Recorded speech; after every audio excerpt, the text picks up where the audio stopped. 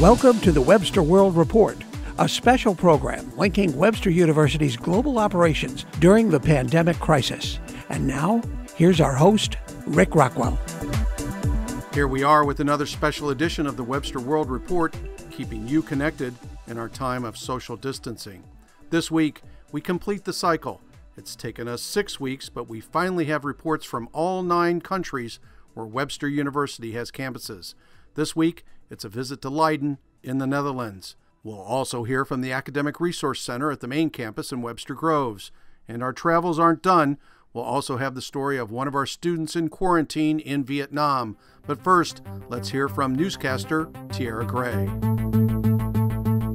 The U.S. may have a shortage of personal protective equipment, or PPE, to cope with the pandemic, but Webster's Jian Gong has an answer. Jian is a web services analyst for Webster's Information Technology Division based in San Antonio. She formed the San Antonio Chinese Alliance Face Mask Group. The group volunteers its time to sew together face masks for nurses, doctors, various other medical personnel, and others in need. We distributed them to the local hospital, uh, hospice, and we also give them to um, local detention center. So far, Jian and the members of her volunteer group have created more than 2,000 masks and donated them to institutions and organizations in need in the past month.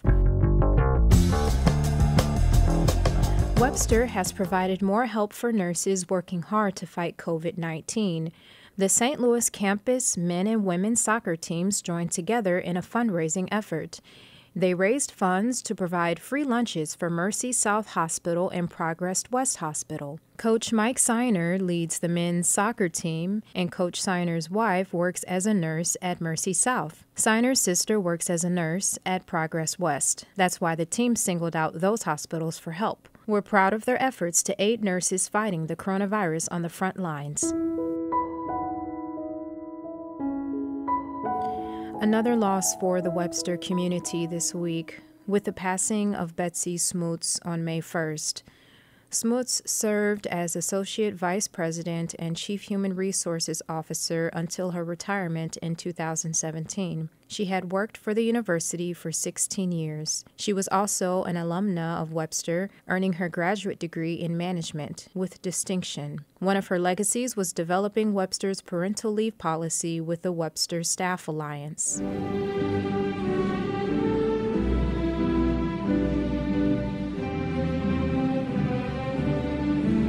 Weekend, a historic first for Webster the first ever virtual commencement ceremony. The ceremony will be streamed live by the university on its website and on Facebook. The ceremony was recorded on the main campus in Webster Groves, with segments in the Winifred Moore Auditorium and the auditorium in Browning Hall. The ceremony will include a scrolling list of the names of all graduates in the class of 2020. That includes all the graduates at international campuses and all the locations across the United States. The ceremony will stream at 9:30 a.m. Central Daylight Time, Saturday, May 9th. The streaming site can be found at webster.edu/live. That's webster.edu/live. For the Webster World Report, I'm Tiara Gray. Thanks, Tiara. During our pandemic times, we've acquired a new lexicon. We talk casually now about lockdowns, stay at home orders, self isolation, and quarantine. That word quarantine seems to be used rather loosely these days and interchangeably with all those other terms and phrases. But it's really different. It means a forced isolation due to exposure to a disease.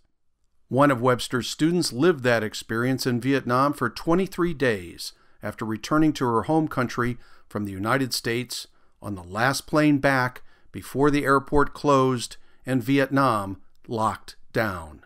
Her name is Phuong Bui, an undergraduate photojournalism student in the School of Communications and a photographer for the student media outlet The Journal. She joined us via Skype from Ho Chi Minh City, Vietnam, to tell her story. So I was checked very carefully by doctors from the airport to the quarantine place. Four or three, four or three people will stay in one room, and uh, we were provided provided everything like free food, mask, personal stuff, and uh, coronavirus testing for 14 days in the quarantine. And however, I had to stay 23 days in the quarantine because there was a coronavirus tested positive case from a young student having the same flight uh, and same building with me in the quarant in the quarantine. And uh, you know, in the quarantine, we were checked temperature two times per day, pre-coronavirus testing for 21 days, and we were not allowed to get out of the building for jogging or even for exercise because of uh, safety. But uh, you know, but students try to play badminton, football in the empty room, and we have so like great and memorable memories during the quarantine. I met doctors. I had a talk to the doctors. I met some friends who are the same building with me, and I did some articles overseas about the doctors and uh, overseas students. You know, even though there there was no Wi-Fi, there was no TV, but don't don't think it's boring in the, the uh, in the quarantine because I think I have a lot of things to entertain during the quarantine, such as like playing sport, uh, recording the video, TikTok, and photographing. That's my story uh, being the lockdown. So no Wi-Fi, no internet. You were not able to, to have those things in in the quarantine. It, it actually we have the Wi-Fi, but the Wi-Fi is very not really good because a lot of people maybe 7,000 7,000 people in one place, so we cannot connect to the Wi-Fi in the same times. So it's very hard to take the class you are a photojournalism student. You decided to document what you were going through in the quarantine. Tell us about your creative process to that. Um, actually, the first time I'm trying to uh, photograph like the light in the quarantine, but I cannot, I could not get out of the building, so I tried to think another another project like life of the overseas student in one building. So I finally have a project about the student in the quarantine.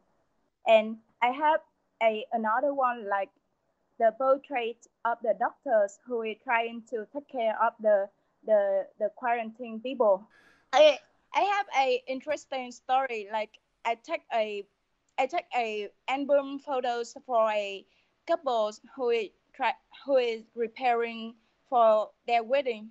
They are a couple with travel to America for uh, for wedding photos, but the America like lockdown, so ha- they had to back to Vietnam, and they been in the quarantine 14 days. When I standing wait for the testing, a coronavirus testing, and I saw them trying to uh, taking the pictures by the phone, I come to the, I come to them, I come to them and try to ask, do they need a help? I will help you to take the pictures. And finally, I take their a lot of picture for them, like wearing the the the the, the wedding dress, wearing the vest, just like everything like a wedding in the quarantine is very interesting. And the doctors and the security like support us a lot and finally I got a album of the pre-wedding for the couples. That must be so interesting to to be able to share your skills with them. Uh, but but not only that, what a story! The fact that they're spending their honeymoon in the quarantine. Honeymoon, the quarantine, yeah. they they told me that they they they're gonna have the honeymoon in the America, but finally they had the honeymoon in the quarantines. 14 days honeymoon. You know. What did you learn during the quarantine, maybe about yourself and other people? The, the things that I can learn in the quarantine just be brave, just take care of myself because no family, nobody can take care of your, take care of yourself. So I have to take care of myself, just make friends, social distancing, of course, and try to understand how hard the doctors working to take care the people in the quarantine. Here in the United States, we have the stay-at-home orders, but we are still able to go out of our house and go shopping and do these things. And many people here are using the word quarantine and saying we're in the quarantine.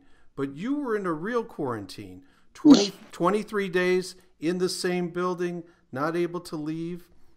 That that is quite an endeavor for you to do that. Um, yeah, but we we were provided everything like food, mask, uh, gel, hand hand sanitizer, and like fruit, everything. They provided everything. What is life like right now in Ho Chi Minh City? What do you have to do? What are the restrictions? We have to wear the mask when we get out of the house.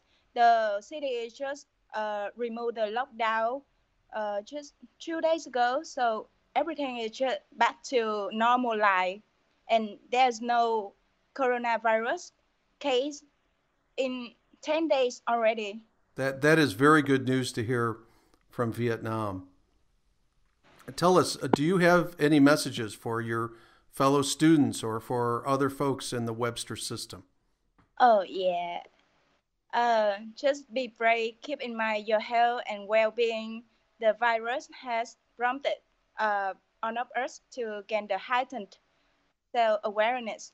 I'm sure all of us has been practicing social distancing, uh, physical distancing, and coming together on the social media for mutual morale, boosting conversation and sharing. I think this is the best way to counter the pandemic. Well, then, thank you so much, Phuong Bui, our guest today on the Webster World Report. She is a Webster University student joining us via Skype from Ho Chi Minh City, Vietnam. Thank you very much. Thank you.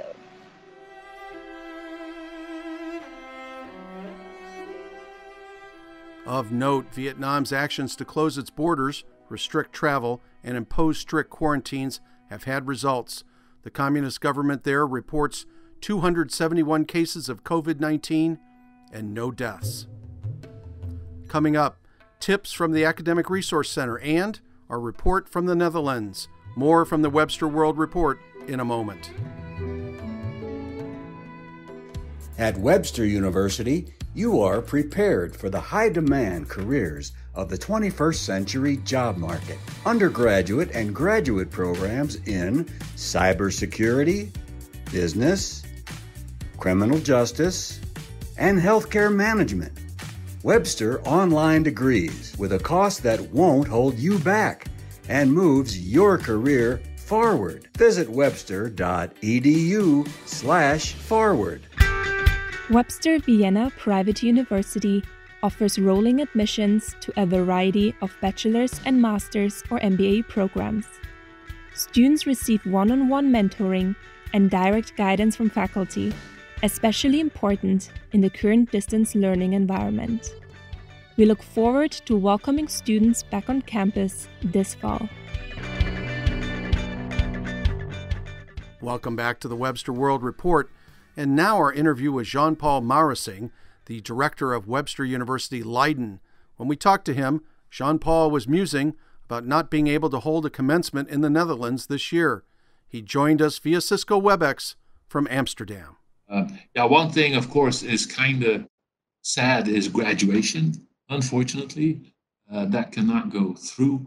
Uh, I've been with Webster 10 years, and last year was my 10th, uh, and, and, that was, you know, really great. This year was supposed to be my 11th, and, and, you know, a year ago, I could never, ever have imagined that anything, you know, would get in the way of graduation. It's the, the most beautiful day of the year. We celebrate it together, uh, and it's, you know, but as you can see, it's not happening. Uh, but at the same time, we uh, we're going to invite the students from this year, supposed to graduate this year. They will graduate. We won't have a ceremony to join us next year. So we'll have two graduating classes next year, uh, and uh, some of them have already said, you know, I'm going to be there. I don't mind, you know, if I have to take a flight or whatever. I want to be part of it. And the, the, the most important reason why we didn't go on with it is because we couldn't create the kind of atmosphere that we usually have for the students. We have uh, usually about, let's say, 100 students graduating, but the parents fly in, the brothers, the sisters, friends, you know, and altogether we usually have an audience of about 600 people. It's in a church.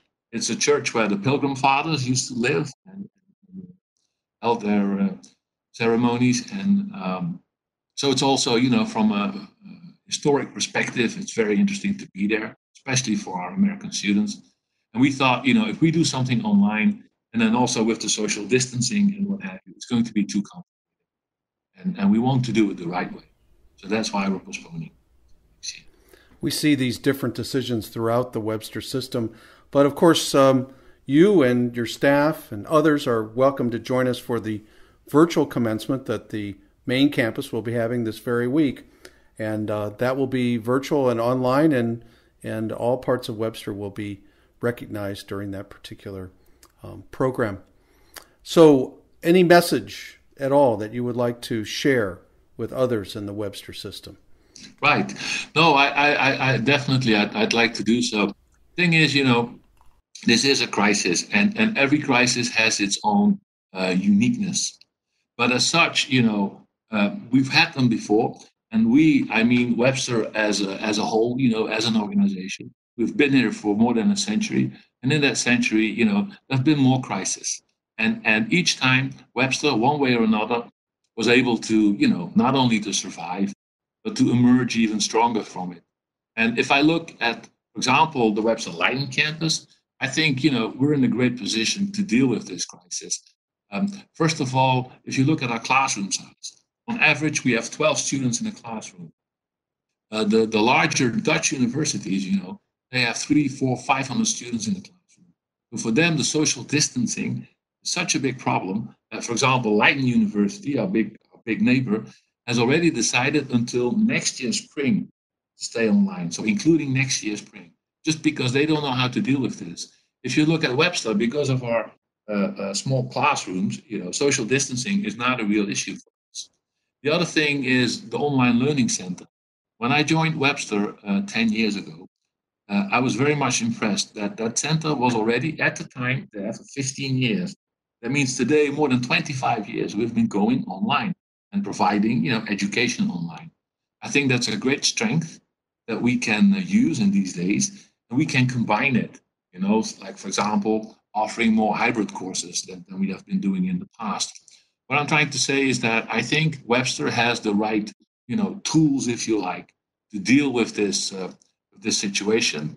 Uh, we need to be creative. We need to think of, of new ways of, of doing things. But I'm absolutely convinced that, that we as an organization can do that, that we will be able, you know, to continue to serve our students. Um, so in that sense, I, I am, although this is a difficult situation, a lot of challenges, I am optimistic about our. Many of us are hopeful that we are about halfway through this crisis, and some parts of Europe have started to open up uh, gingerly, a little bit in in in Germany. Uh, we even heard this morning a little bit in Spain. Um, how are conditions for you there in the Netherlands? Well, it's been, of course, uh, a very uh, extraordinary situation. We, we, we saw it coming, the, the corona uh, pandemic as such, but at, at the very beginning, you know, you think like, well, maybe this will blow over, or it doesn't seem to be, you know, such a serious matter. But after a short while, we, we yeah, indeed, we began to see that, that this is a very serious thing. And then we started considering uh, quite early on, I think, about what kind of measures we should take in order to, uh, as much as we can, try to protect the safety of you know students, staff, faculty. So uh, I think quite early on, even before the Dutch government imposed measures, we had already decided uh, to uh, well, basically to to uh, to switch uh, uh, the teaching from let's say on the ground to online, and then mainly web enhanced in the sense that at the very beginning, actually, teachers would still come to the to the campus, be in the classroom, and then we would record it, and then students would be able to to go online and be part of the classroom. But quite soon after that, we already decided to close the building. And then the, the teachers are basically, they are at home uh, and they're connecting online with the students. So quite early on, we, we switched to, uh, to online teaching. And I think uh, it's been difficult, of course, for the students because they have to get used to it. Uh, but at the same time, if I see, because we did basically all of this in one week, if I see um, how well faculty reacted, how well students reacted, I think I'm really, you know, proud of what we have achieved in, in such a short time. Well, for example, you know, the Living and, uh, and Learning Center, uh, we reached out to the students uh, quite a while ago and said, you know, uh, if, if you want to go home, go home. If you want to stay, stay. And, and we, we expected, for example, that, well, basically all students would say, okay, you know, I'm going home and have you. But the interesting thing is we still have about 25 students in there and our total capacity is 86. So there's really, you know, I, would say uh, quite a group of students that said, no, no, no, this is where we are, this is where we stay, you know, and, and we'll deal with whatever's coming our way. So I thought that was very positive, to be honest. Uh, the good thing is also um, nothing has happened, of course, fingers crossed, but so far, and it's been a while now, nothing has happened at the uh, LLC. Nobody got infected you know, students take their uh, responsibility in terms of, you know, washing their hands, social distancing, distancing, uh, that kind of thing. Uh, and I'm, I'm really, uh, let's say, impressed to see how uh, these students are dealing with the situation. Then, of course, they're still continuing their studies at the same time. Um, yeah, so I, I, I, find that really impressive. Jean Paul, anything that you would like to add? Thank you for the interview. well, then, thank you very much for joining us today on the Webster World Report. Our guest, Jean Paul Marissing, the director of Webster University Leiden, joining us via Cisco WebEx from Amsterdam. Thank you again. My pleasure. Thank you. As we finish off finals week, it seemed as good a time as any to visit with Erica Ellard, the director of the Academic Resource Center.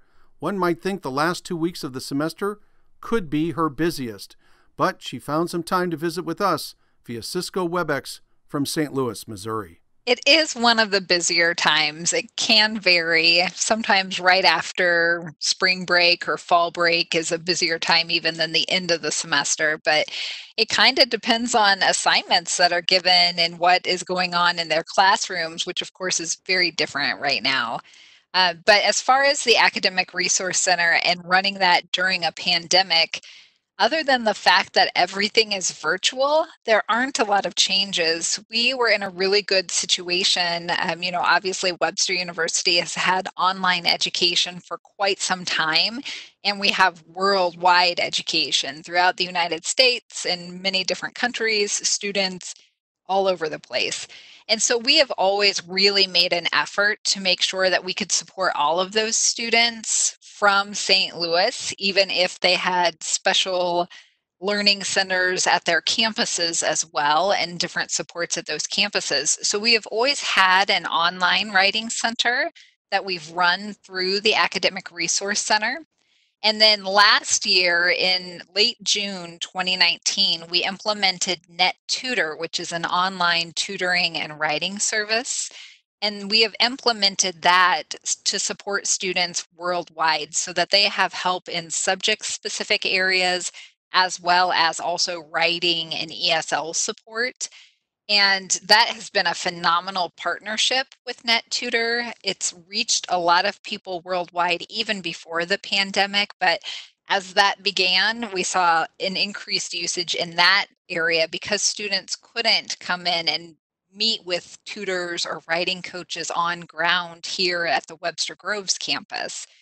And then a couple of weeks ago, really the beginning of April, we were able to bring back student employees, so our writing coaches and our tutors, to also support students remotely. And that's gotten really good reception from those students who had gotten used to working with those peer tutors and writing coaches as well. Do you have any success stories specifically about international students, not here in the United States, but our international students?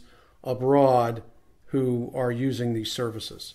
Well, success stories, it depends on what you mean by success. To me, it's successful when a student connects with the resource and then uses that to improve their work. Now, if we're talking about did they get an A on the paper, that's a different story. We don't follow up to that extent, but our students and the faculty and staff in Uzbekistan have really been using the services more heavily. And that is wonderful because it is such a large and growing campus. Those students are looking for those support areas. So we have uh, a lot of students in that area using it. We've also been getting a lot of writing um, referrals through our Starfish student support services, student success portal. And so, what happens when we get a referral is that usually a, an instructor has raised that for a student, and it's to connect them to services.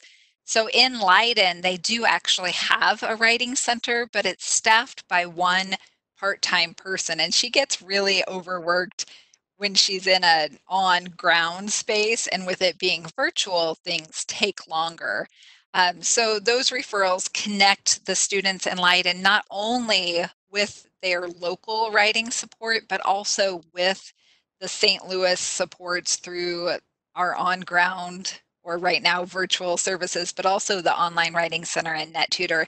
And so I find those really good success stories, but that happens all over the world. You know, we see Ghana students from Ghana, from Thailand. Geneva has their own um, writing services as well. So sometimes we don't see as many of those, but students are reaching out for writing for sure, and then also connecting with the tutoring through NetTutor We have significant listeners in Uzbekistan for this program. So if I'm a student in Uzbekistan and I've never um, availed myself of the services of the Academic Resource Center, what would you tell me that you could help me with? What we tell everyone is that we can help you with anything that impacts you academically.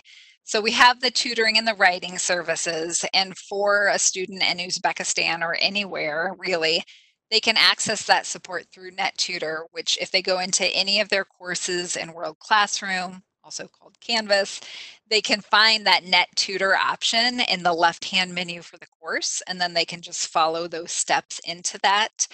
They can also get the support of the Online Writing Center. And so that covers their tutoring and their writing. But we also provide academic counseling for students worldwide. And so academic counseling is working with students individually on whatever is impacting them specifically. Sometimes it's time management, sometimes it's study skills, test anxiety, test taking tips. Sometimes it's just helping them with time management and setting up a schedule. But those services are available to students worldwide as well. And some campuses, again, have those supports there. I know in Uzbekistan, Carrie Zeller does a lot with students. There are supports in Ghana, there are supports in Leiden whatever is at that campus, it's supplemented by what's available worldwide through the Academic Resource Center in St. Louis. Thank you so much. Our guest today on the Webster World Report, Erica Ellard, the director of the Academic Resource Center, joining us via Cisco WebEx from St. Louis. Thank you again. Thank you. Of note, Erica asked to be part of this podcast, and you can too. If you're a student, a staff member, or a member of the faculty, reach out to us. Send us a short audio clip from your cell phone or contact us via email to volunteer to be interviewed on the program. You can find us at covid19 at webster.edu. You can also send questions or comments to that email address if you want to interact about the crisis. That address again is covid19 at webster.edu.